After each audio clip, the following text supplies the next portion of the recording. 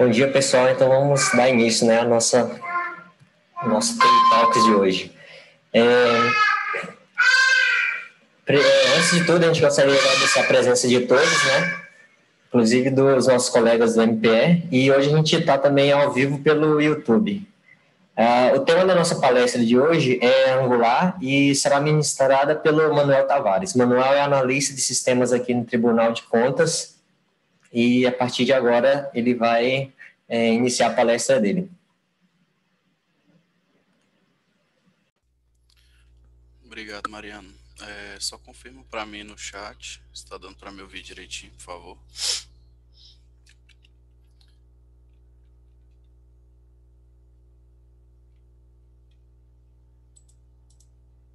Beleza, valeu.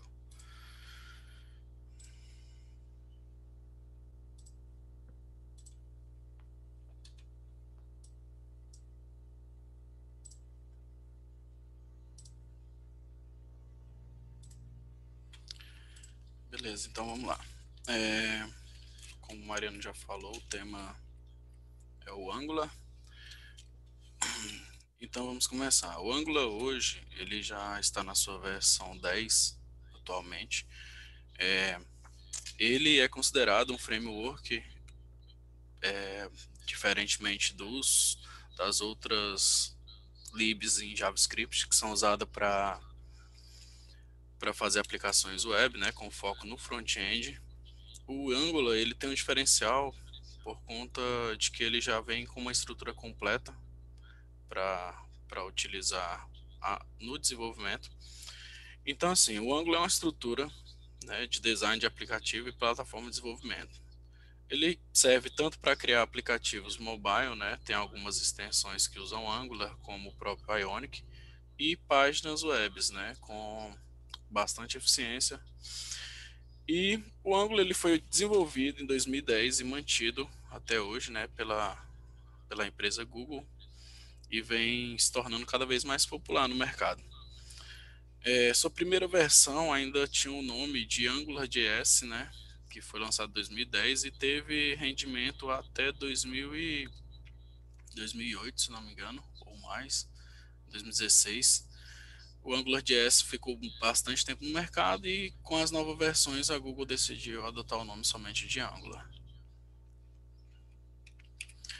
Então vamos lá, por que, que, o, que seria recomendado usar o Angular? O Angular, como eu disse, diferentemente dos outras bibliotecas JavaScript, como React, Vue, é, ele é considerado um framework, o que significa que ele possui uma estrutura voltada né, para as views, modelos e controllers, não necessariamente controllers, por isso que eu coloquei entre aspas aqui no slide, porque ele trabalha com uma estrutura de serviços, é, providers, que são maneiras de você conseguir manipular determinado dado, é, trabalha com roteamento próprio, e assim ele facilita e ajuda a organizar o processo de desenvolvimento e tem em sua estrutura os elementos prontos para uso, como templates, componentes, roteamento, diretivas, módulos, serviços, tem seu próprio sistema de injeção de dependência, que eu vou mostrar mais à frente, e ferramentas de infraestrutura.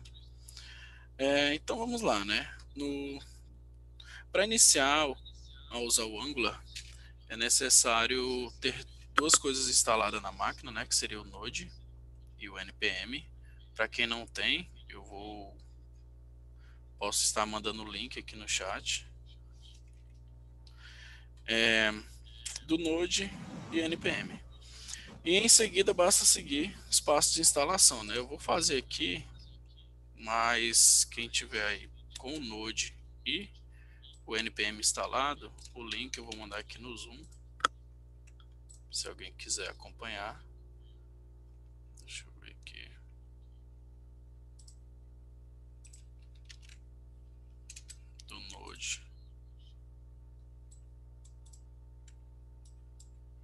E do NPM para instalação. Eles são bem pequenos, instala bastante rápido.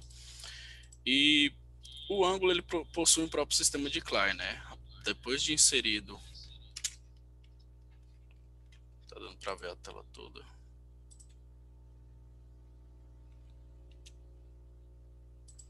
botar o link aí no chat.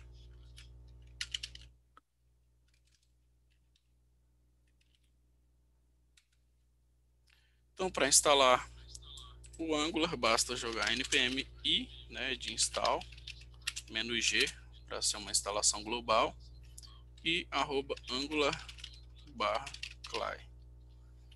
Com isso, ele vai instalar de forma global no computador, né, todas as, as dependências, toda a estrutura que o Angular precisa para funcionar.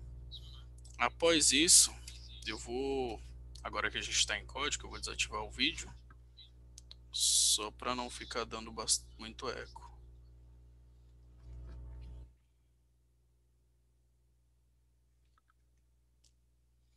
Então, para a gente criar a nossa primeira aplicação em Angular, após instalado a dependência global do Angular CLI, a gente tem um comando a partir daí ng, que seria do Angular, esse comando, new e o nome da aplicação. Aqui no slide eu coloquei name application. Você tem que usar como usando o traço. Se eu não me engano, ele não funciona com camel case. Mas vamos lá. Eu vou criar aqui uma nova aplicação chamada tarefas. ng new tarefas para quem estiver aí acompanhando. A partir daí, ele inicia a instalação e ele pergunta que, a princípio, se a gente quer usar o roteamento do próprio Angular. É, recomendo que para todos os projetos, a maioria vai ter mais de uma rota, né? não vai ser uma página de scroll infinito, se for um projeto de sistema. Então, recomendo que se use sempre o Angular Routing. É, ele pergunta qual ferramenta de, estiliza, de estila, estilização a gente vai usar, né? Qual processador. Eu uso basicamente sempre o CSS, que é o que eu tenho mais familiaridade, mas aqui vocês podem escolher qual que é mais simples para vocês. Depois selecionado o CSS, ele vai começar a gerar toda a estrutura do projeto. Guardar um pouquinho aqui.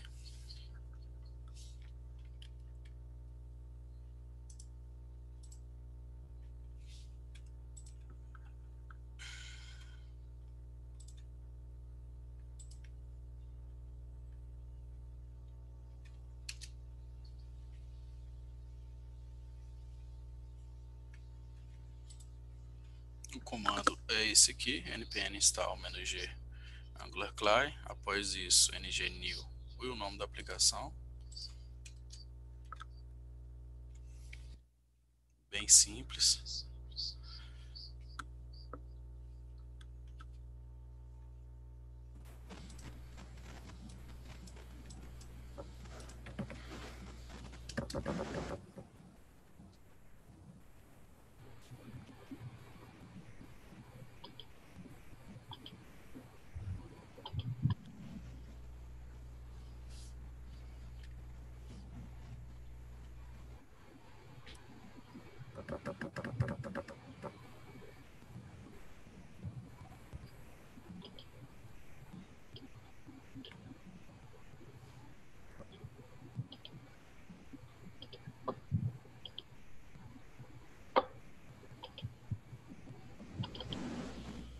Pronto, ele conseguiu criar nosso projeto com sucesso.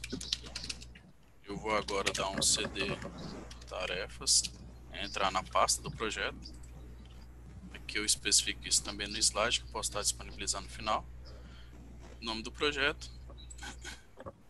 Depois de dentro do projeto, eu vou abrir o Visual Studio Code para a gente começar a desenvolver.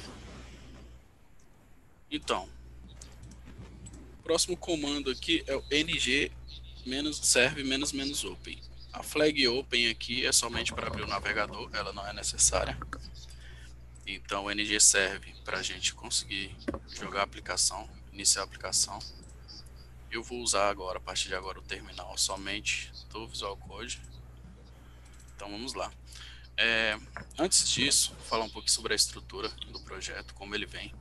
Então, para quem tem familiaridade já com o Node, é, sabe que aqui dentro do arquivo package.json, a estrutura é essa, pasta tarefas, na raiz dele tem um package.json, que é onde a gente tem a configuração de todo o servidor Node, né? Com as dependências, no caso aqui a gente está usando a versão 10.0.5 das animações do Angular, o Angular Core 10.0.5, é, e por aí vai. Aqui tem as dependências de desenvolvimento, né, que ele configura automático, caso o Angular Clay já consegue colocar algumas coisas, como para o TS-Lint, para identificar erros de digitação, de indentação, esse tipo de coisa.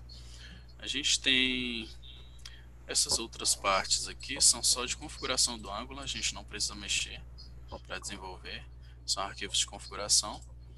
Tem o readme, que para você subir isso no repositório do GitHub, ele já coloca aqui passo a passo de como fazer algumas etapas. E aqui nós temos a pasta SRC. Pasta SRC, o source, ela tem aqui nossas principais, é, é, onde a gente vai trabalhar, os principais arquivos onde a gente vai trabalhar. Então aqui a gente tem o index, né, que é o que vai ser buildado no final. Começa aqui a partir do index desse arquivo HTML para o navegador interpretar tudo. A gente tem aqui o estilo global e temos também é, parte do main TS, que é onde direciona a aplicação final.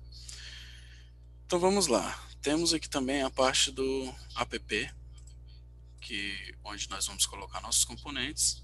Temos os assets, caso queira usar algum tipo de arquivo, foto, ícone.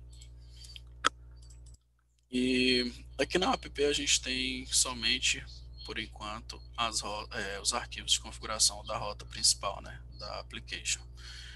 Então, para o Angular, cada componente, no caso aqui o app é um componente, para cada componente ele cria quatro arquivos. O app.component.html, no caso é o HTML onde vai ser feito todo o documento daquele componente, no caso o HTML de todo documento, divs, parágrafos, etc. Ele cria também um arquivo CSS para você colocar suas classes específicas para esse componente. Cria um arquivo .typescript, que é onde a gente vai fazer todas as funções, é, interações com interações com algumas variáveis, fazer binds, chamar outros, outras classes para usar métodos de outras classes. E temos, nesse caso do app, ele tem mais dois outras, outros arquivos, que é o app module. Esse spec aqui é de, a gente não precisa utilizar ele para esse projeto. Então, nós temos o app module. Esse módulo é onde a gente vai injetar todas as nossas é, componentes externos, providers, é, rotas, no caso componentes aqui dentro também. Ele é como se fosse um arquivo de configuração global para tudo que você vai fazendo no projeto. Né? Se eu crio um componente novo, eu tenho que declarar ele aqui para a aplicação enxergar esse componente. E assim como serviços, providers que são para automatizar um pouco algumas coisas no projeto. Então aqui o app module basicamente isso. Temos também esse outro arquivo, no caso do app modo, do app, que seria o arquivo de rotas. Então, se eu tenho duas páginas, é, o index e o login, ou o index e os detalhes de alguma, de alguma coisa, eu vou declarar minhas rotas aqui. Então, vamos lá. É, a estrutura que eu uso, isso aqui não é, não é padrão, então você pode escolher uma maneira específica de usar tá? Mas a maneira que eu uso, eu crio aqui dentro do SRC o arquivo de models, uma pastinha, né? Shared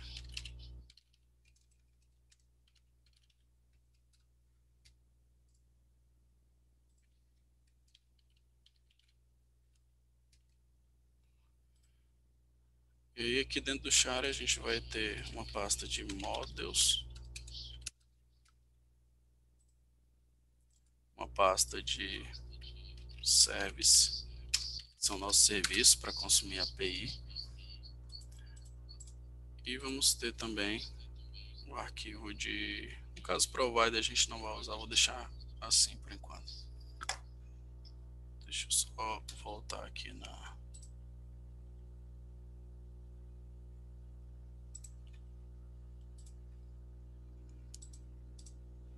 na apresentação, voltar lá para o Chrome. Então, a partir daí, a gente tem esses comandos e vamos iniciar esse servidor. Para isso, a gente vai usar o comando ngserve, como eu mencionei anteriormente. Deixa eu voltar aqui para a tela do, do código. Usando o terminal do Visual Code, basta digitar nz serve. Se você quiser escolher a porta, basta botar a flag port 8080, é, 3100. No caso, não, menos menos open, ele abre o navegador após buildar o projeto.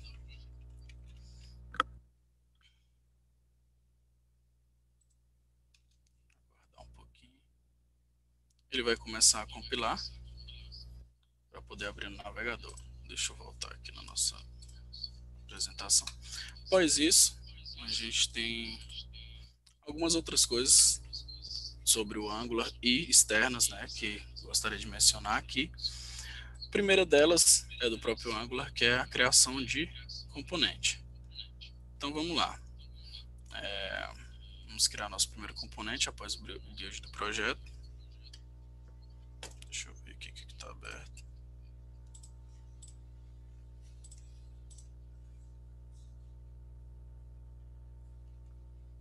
Projeto buildou já, abriu sozinho aqui no navegador. E a gente tem essa telinha aqui do, do Angular, né, falando sobre a documentação, Learning Angular, Documentation, blog e como gerar nosso primeiro componente. Então vamos lá, voltar ao código.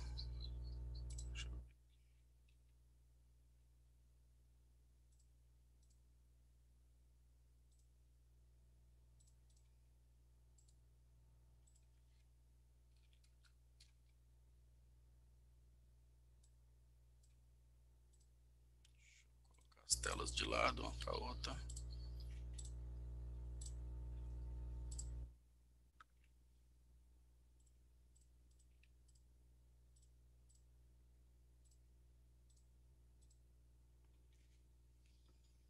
Então, beleza. Após compilar o projeto, ele gera aqui algumas coisas e compila o projeto na porta ou selecionada, senão a default é a 4200. A gente consegue abrir aqui. Então, como eu falei, é, nosso primeiro nosso primeiro comando aqui vai ser o ng generate componente e escolher o nome do componente. Isso porque cada componente, nesse caso que eu vou criar agora, ele vai servir para ser uma rota. Então a gente tem a rota app, que é essa aqui, que ela vem com algumas coisas no HTML. A gente vai excluir todo esse HTML aqui, que é voltado somente para a documentação do Angular. Então, uma vez excluído, todo HTML acima de router outlet, vou salvar o arquivo, ele vai apagar tudo. Vai ficar somente o router outlet. Vou criar aqui também, dentro da app, uma pasta chamada views, que vai ser nossas views, o share aqui, como eu falei, as models e serviços. Então, vamos lá para criar o nosso primeiro componente. Comando aqui é o ng generate component. Então, ng generate component e o component name. Eu vou criar o primeiro componente como a home e ela vai ficar dentro de views barra home, o nome do componente. Então você consegue escolher o path para onde vai seu componente, seu componente.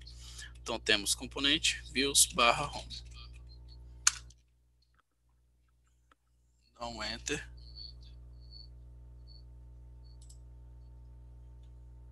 ele já criou nosso componente. Então aqui dentro de views eu tenho a pasta home e dentro da pasta home aqueles quatro arquivos principais, CSS, HTML, TypeScript e Spect. Então vamos lá. A estrutura que ele cria a início aqui é somente um parágrafo com o nome do componente e o CSS vem vazio, o TypeScript vem praticamente vazio e a gente vai começar a configurar isso. Então vamos lá.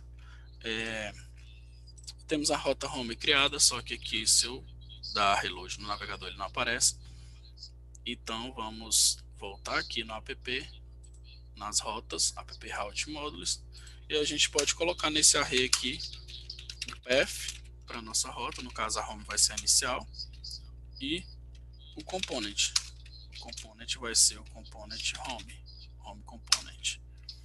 Após isso, ele já aparece aqui no navegador nosso home works, né, o que está escrito aqui no nosso HTML, para o arquivo home. Então, se eu editar aqui, ele vai fazer também. Então, é ABC, salvo, ele muda lá. Vamos criar mais um componente, que vai ser o component views user, só para mostrar como funciona a questão do roteamento. criado nosso segundo componente, tem aqui agora a pasta home e a pasta user dentro de views. Mesma coisa fazer aqui na, na, no arquivo app é declarar esse novo arquivo, essa nova rota. Então, component vai ser user component na, no path user para mostrar como funciona. Então aqui a rota padrão é a home, então se eu colocar user, ele vai para a rota user, componente que a gente criou aqui nas views. Então se eu trocar aqui alguma coisa, usuário, ele troca também. A gente agora tem duas rotas, a home e a user. Beleza. É, vamos voltar aqui para o slide. E o próximo etapa agora é criar uma tarefa, quer dizer, um, um, serviço, que vai ser o que a gente vai utilizar para consumir a aplicação, só que aqui o layout não tem nada, né? Então, vamos começar pelo ng, que é esse comando aqui, que eu vou apresentar para vocês uma biblioteca de componentes para o Angular, que é a Material Angular.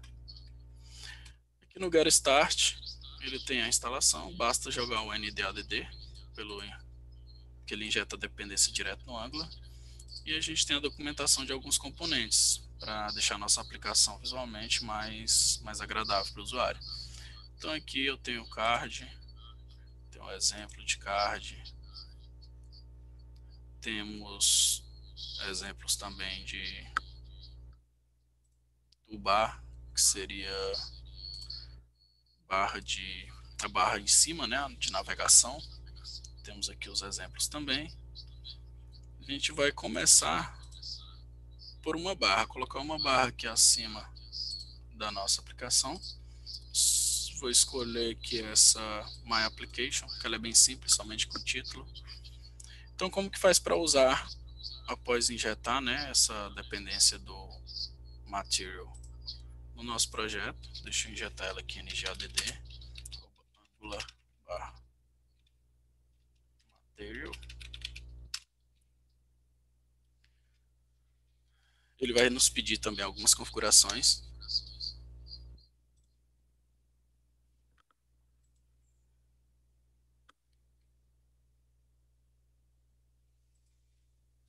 Esperar um pouquinho.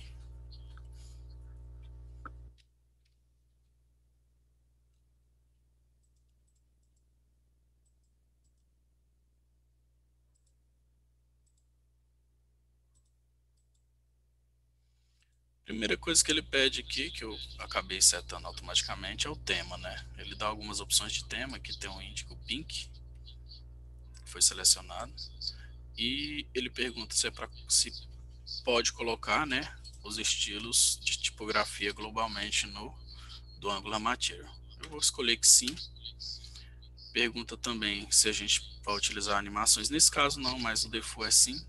As animações do Angular Material. Pois isso, ele vai atualizar nossas dependências do projeto, inserindo esse componente aqui, essa, essa biblioteca de componentes, Angular Material. Enquanto isso, a gente vai aqui na documentação, escolher a tubar. Tem aqui como colocar cada uma, a documentação, tem o código de cada uma, se precisa alguma coisa no TypeScript e o CSS das mesmas. Então aqui já terminou. Ele já colocou, eu vou dar outro ng serve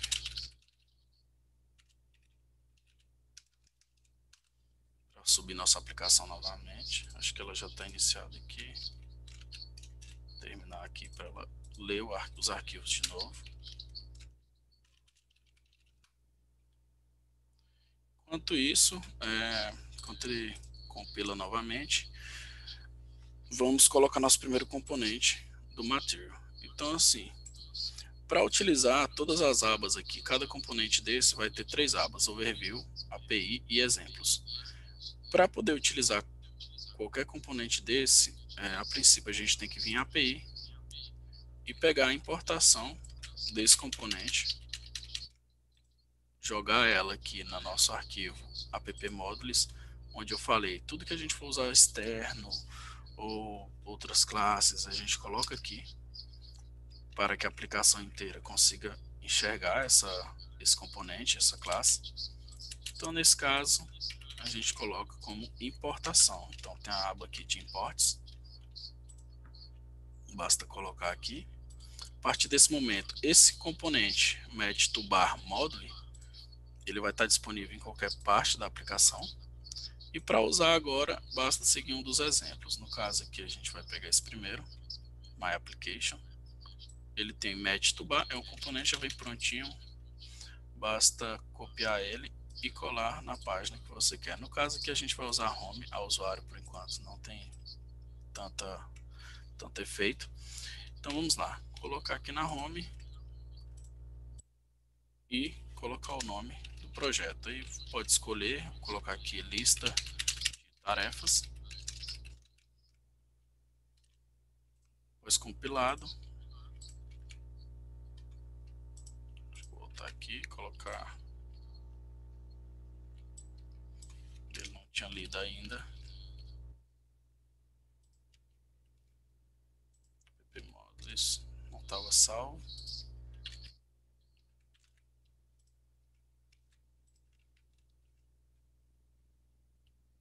salvou, ele já consegue aqui colocar o mesmo estilo, o mesmo tema aqui do material para o Angular. Então, beleza, a gente tem aqui uma barrazinha de,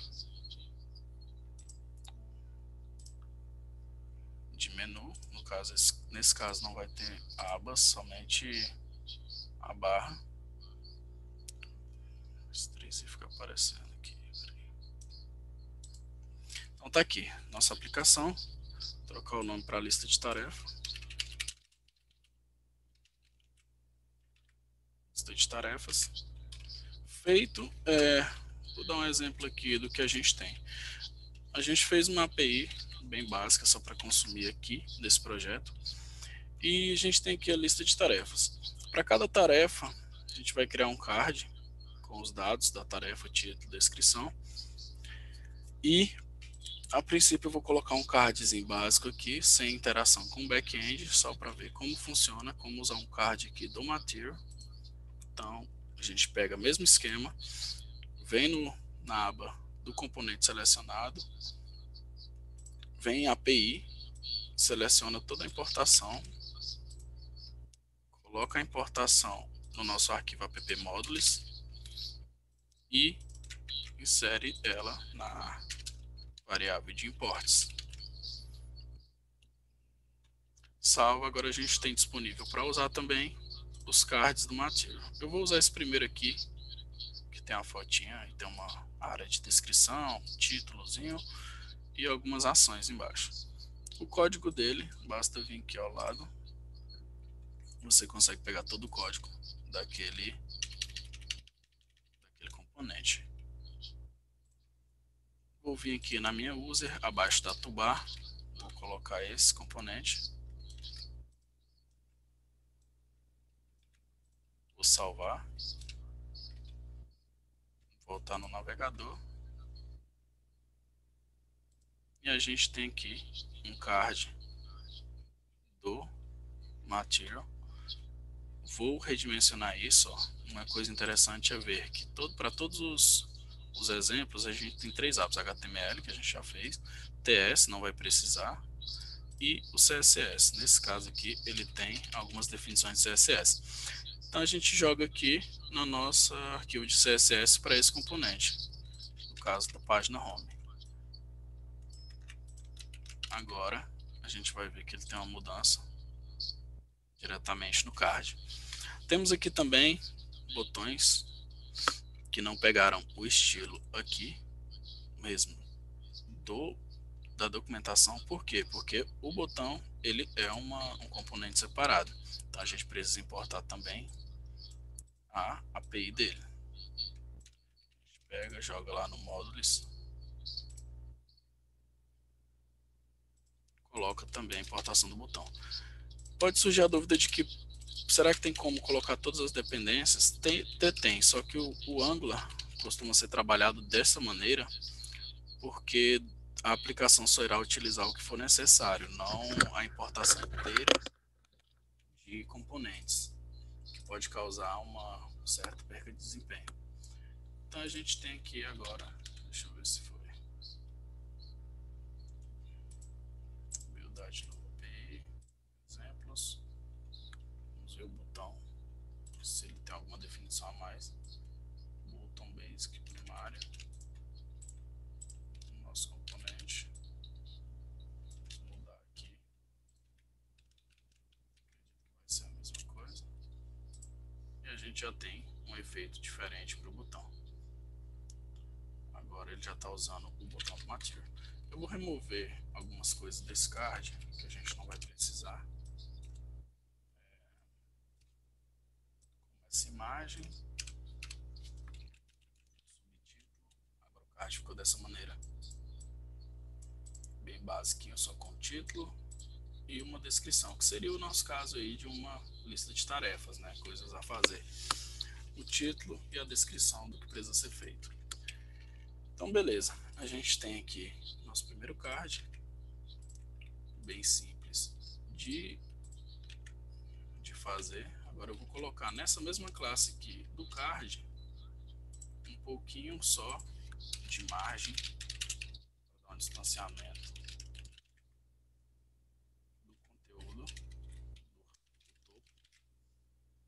aqui um pouquinho separado. Bem fácil, a gente consegue utilizar qualquer um daqueles componentes, colocando dessa maneira, seleciona o componente, vem API e depois pega o código e coloca os componentes. Qualquer edição que eu fizer no código do componente, ela reflete lá, então se eu tirar essa descrição e colocar a descrição, ele reflete no nosso card. Mas só isso a gente ainda não tem quase nada, né? Vou mostrar agora como que funciona a questão de consumir uma API e trazer os dados do back-end diretamente para essa para esse componente. Então vamos lá, é, fechar aqui. Agora a gente vai para outro para outro comando que é o ng generate. O generate a gente pode resumir ele em G, ISS de service, char e service tarefas. Então vou criar mais um, nesse caso, vou criar mais um arquivo que vai ser de serviço. Esses arquivos de serviço são utilizados para a gente conseguir, é, para a gente colocar, organizar a nossa estrutura em uma determinada pasta, né, a service, somente o que for de conexão com, com, com back-end. As requisições, get, post, delete, put. Então vamos lá, ng generate s de service e na pasta shared barra service, então ele vai para o caminho shared service e o nome do nosso arquivo. O arquivo vai ser tarefa e ele vai gerar para a gente já a estruturinha completa do arquivo de serviço que a gente vai utilizar para conectar com o back-end.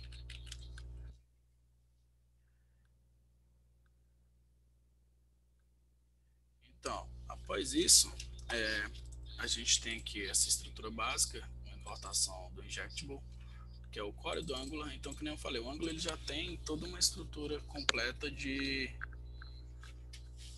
de coisas que são necessárias, ferramentas necessárias para o desenvolvimento. Ele já tem seu próprio módulo de dependências para dependências para HTTP request e entre outros, né? Segurança, autenticação. Eu vou acelerar aqui, que a gente já está com o tempo bastante prolongado, mostrar para vocês como que ficaria esse arquivo caso do da nossa primeira requisição. Então vamos lá. É, vou criar um modelo. O modelo são sempre feitos na mão. Então vou criar um modelo de tarefa. Ponto. E um modelo, porque nosso back-end ele tem uma paginação, de paginação. Eu já tenho aqui ó, esses dois modelos para a gente não perder muito tempo.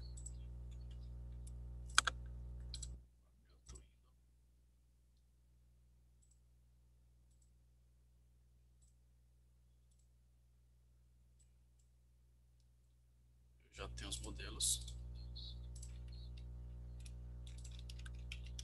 da nossa tarefa. E o modelo de como vem do back-end a paginação.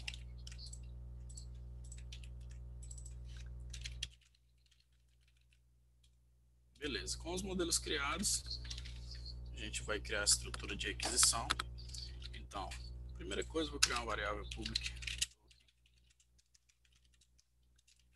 gente token que vai precisar as aquisições. Aqui no construtor, eu vou colocar que ele precisa iniciar com HTTP que também já possui.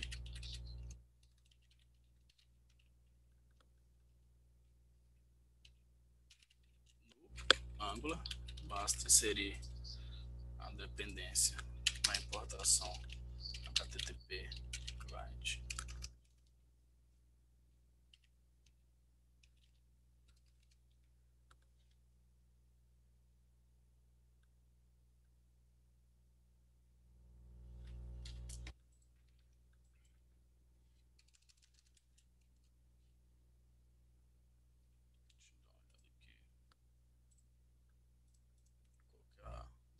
porque ele não está preenchendo.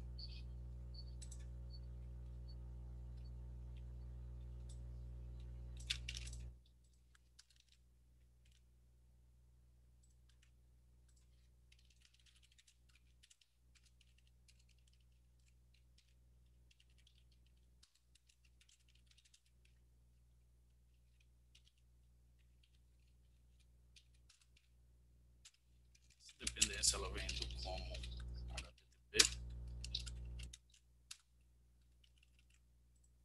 gente pode configurar nosso cliente de aquisição.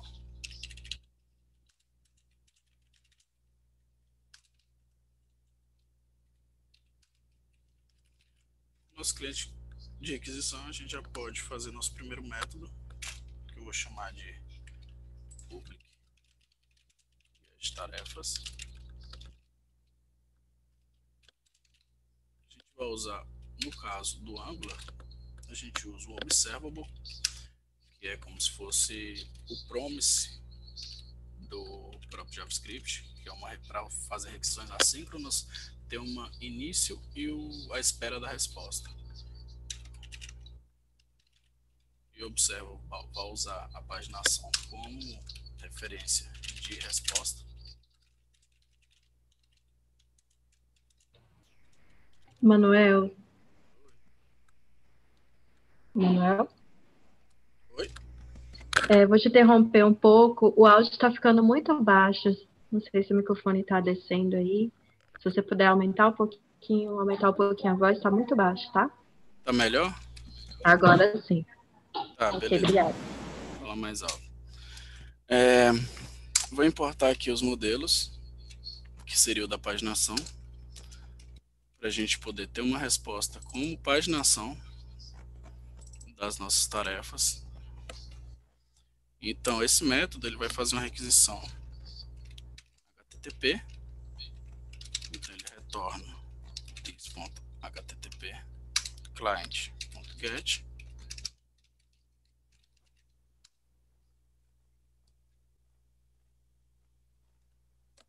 Na URL, eu vou disponibilizar essa URL também consumir a API. A API está hospedada no Heroku.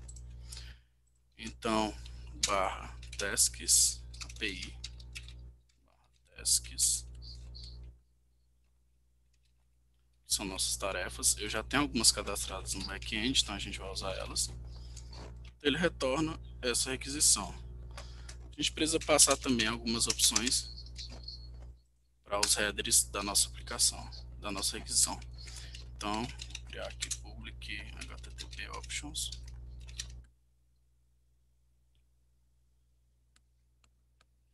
Recebe headers, são os headers da aplicação.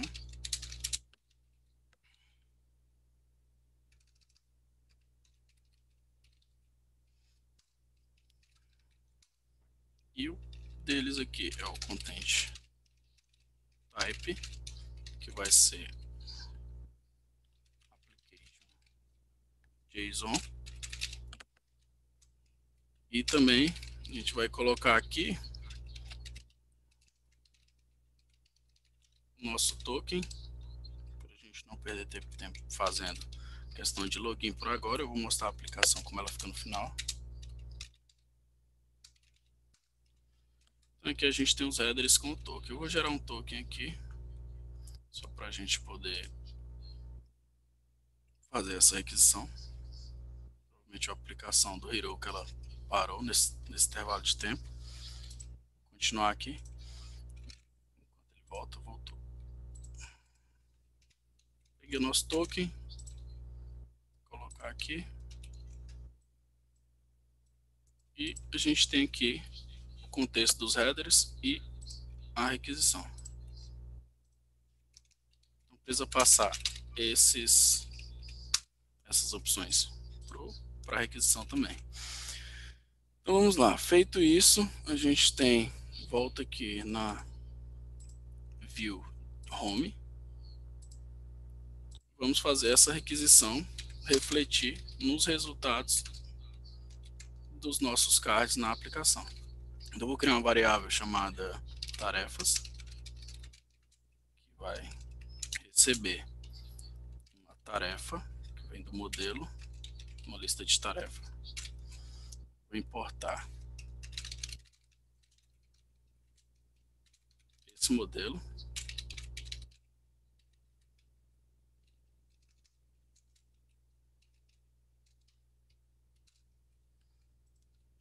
Esse modelo. E agora vamos criar um método para essa página home chamar da nossa do nosso serviço. Então,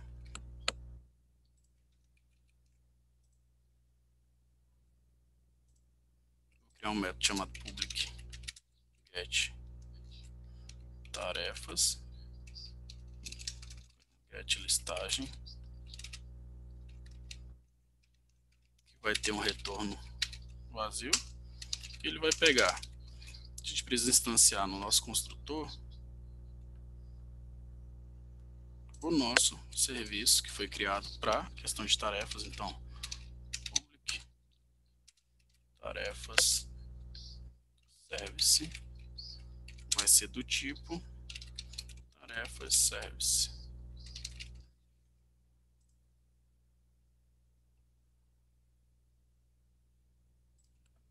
Caso, tarefa no singular, tarefa service. Vou importar também esse serviço.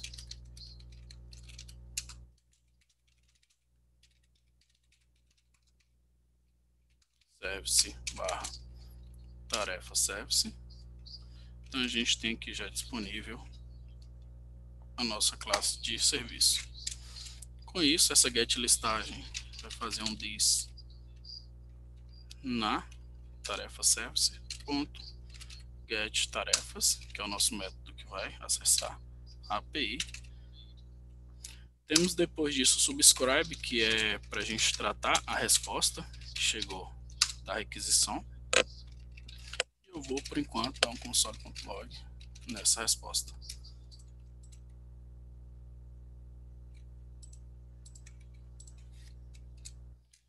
Então, vamos lá colocar isso no, no nosso método de, de inicialização do componente. Então, quando o componente carregar a próxima vez, vou subir a aplicação novamente. Quando esse componente for criado novamente, ele vai lá no back-end é, requisitar a lista de tarefas com o token que a gente tem de usuário. Só esperar ele subir aqui rapidinho.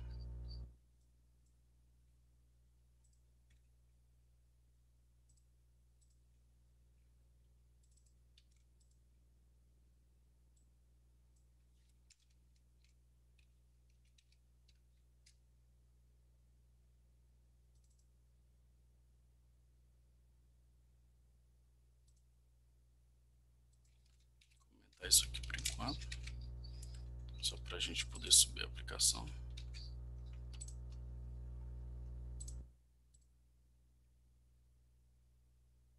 Nossa aplicação foi buildada. Então aqui, quando eu inicio esse componente, vocês vão perceber que ele faz uma requisição no back-end e traz os resultados das nossas tarefas. Então aqui tem algumas já cadastradas.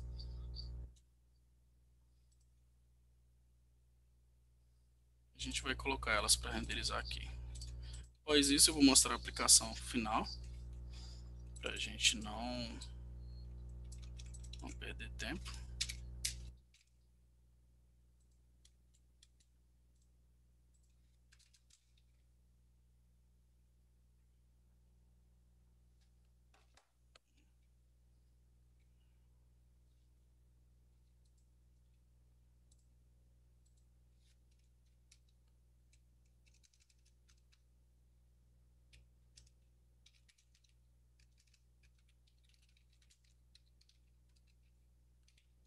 Faço uma lista de tarefas que vai ser utilizada para a gente colocar como resposta aqui do back-end, jogar numa variável para esse componente o response data, que é onde está a nossa lista de tarefas.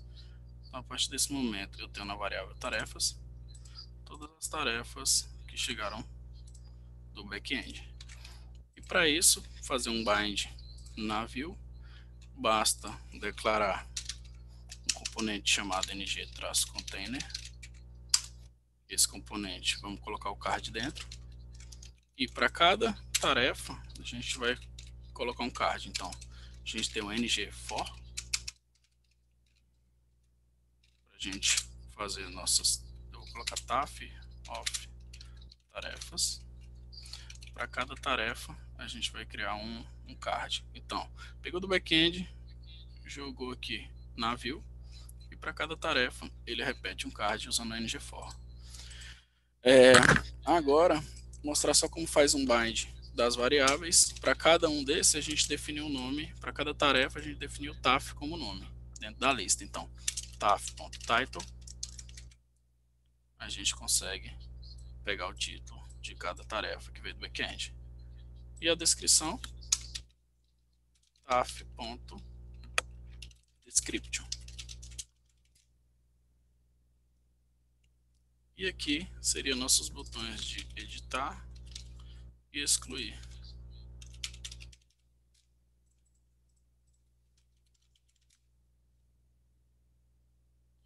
Então, a gente já consegue ter uma listinha aí vinda direto do back-end.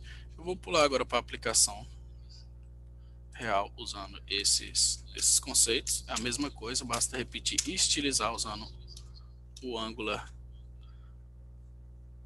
o Angular Material. Então, mostrar para vocês como que fica fazendo essas aquisições.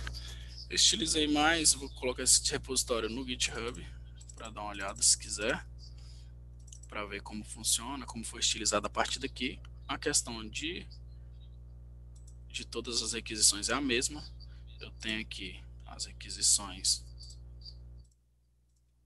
de get, token, lives, criar uma task, deletar uma task, que seriam as atividades, e projeto final terminar de buildar aqui para mostrar. Eu vou refazer login, porque o token expirou. Tem uma telinha aqui.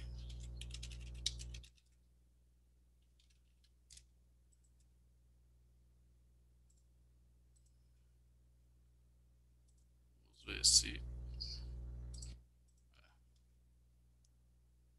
a API responde login.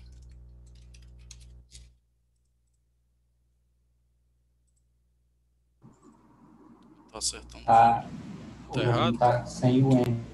Ah. E aí, a gente tem as atividades cadastradas. Eu tenho um método de excluir. Clica aqui, ele exclui. Tem a paginação. Tem a edição tudo isso aqui estilizando e simplesmente colocando as requisições daquele jeito. No service faz a requisição e no componente a chamada. Aqui está ordenado por prioridade nome, então fazer ele vai parar mais embaixo. É isso, a gente tem como cadastrar, esses componentes entregam uma aplicação um pouco mais visual, mais trabalhada visualmente para o usuário. Com essa questão de você não precisar ter em uma só aplicação o back e o front, dá para separar isso, onde eu, uma equipe consome somente o front-end e outra equipe faz somente o back-end. Então a gente consegue automatizar algumas tarefas, melhorar alguns processos e entregar um produto mais, mais intuitivo ao usuário. E é isso aí. Vou enrolar mais porque já passou do tempo de apresentação, mas quem tiver dúvida, depois só mandar mensagem também, quiser replicar o projeto, executar em casa, a API vai ficar livre para vocês utilizar. E o repositório no Git também está aberto para vocês utilizar. O repositório é esse aqui. Eu posso mandar o link aqui no Zoom também.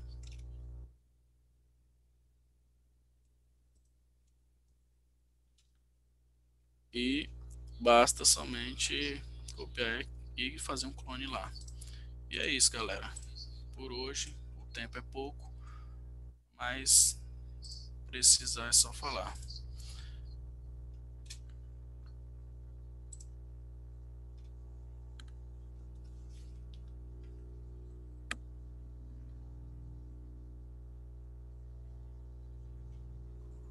Alguém tem alguma dúvida, algum comentário para fazer?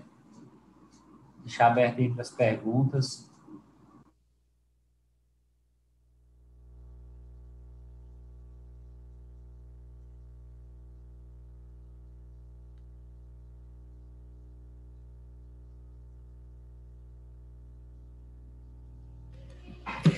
Pessoal, só para a gente não esquecer, Vamos todos abrir as câmeras, porque o pessoal da comunicação vai fazer a matéria e precisa tirar um print. Então, por favor, aí, todo mundo abrindo as câmeras.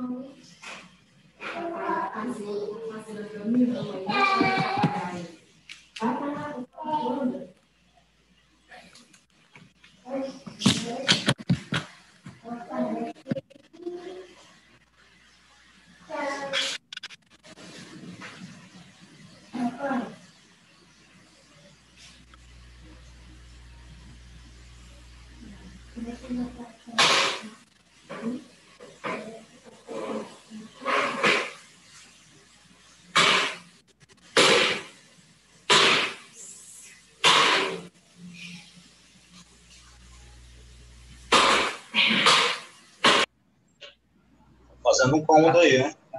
Mariana, tem alguém destruindo tua casa aí.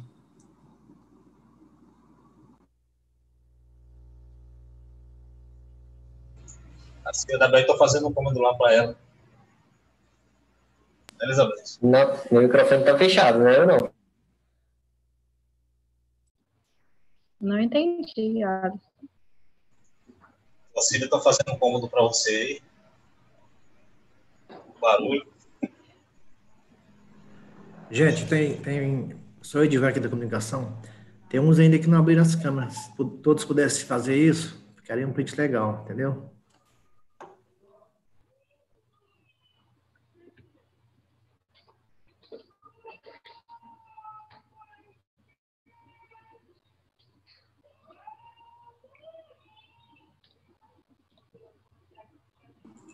Pessoal, vamos abrir as câmeras. Jânio, quem mais? Clinton, Clinton, Edivano. Danilo. Sem câmera no PC. Ah,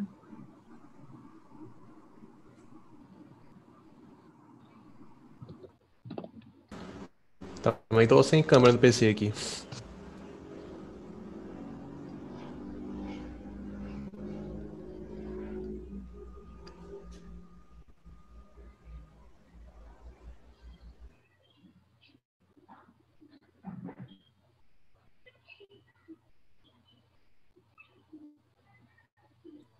Esperar um pouquinho, eu tento abrir.